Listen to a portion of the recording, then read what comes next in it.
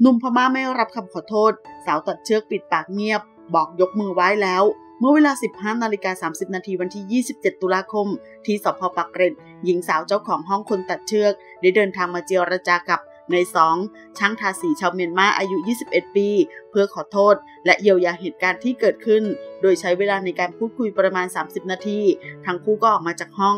นายสองกล่าวว่าวันนี้ได้เจอคู่กรณีตนจึงถามไปว่า มาตัดเชือกของตนทำไม เขาได้ยกมือไหว้ขอโทษตน บอกว่าไม่ได้ตั้งใจตัดทำไปเพราะป้องกันตัว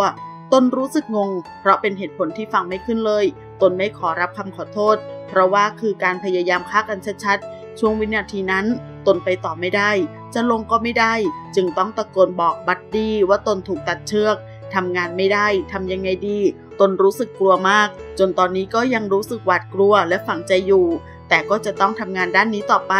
เพราะว่ามันเป็นอาชีพหลัก อยากฝากบอกคู่กรณีว่าอย่าไปทำแบบนี้กับใคร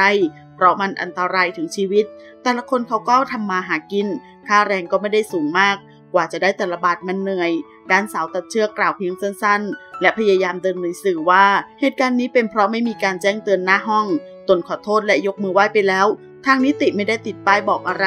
พันตำรวจเอกจักรพงศ์ปรีชาการุณพงศ์ผู้กำกับสพปากเกร็ด กล่าวว่าทางสาวตัดเชือก ทางสาวตัดเชือกให้การรับสารภาพเพียงแค่ประโยคเดียวคือได้ตัดเชือกจริง แต่ปฏิเสธไม่มีเจตนาฆ่าผู้อื่น พยานหลักฐานที่ตำรวจมีคือพยานบุคคล พยานกล้องวงจรปิด นิติวิทยาศาสตร์และอื่น ๆ หลักฐานแน่ชัดว่าผู้ต้องหารายนี้กระทำความผิดจริง ในฐานความผิดพยายามฆ่าผู้อื่น และทำให้เสียทรัพย์ คาดว่าภายใน 15 วัน จะสามารถส่งสำนวนการสอบสวน มีความเห็นสั่งฟ้องต่อศาลจังหวัดนนทบุรี ขอขอบคุณข้อมูลจากข่าวสดขอบคุณค่ะ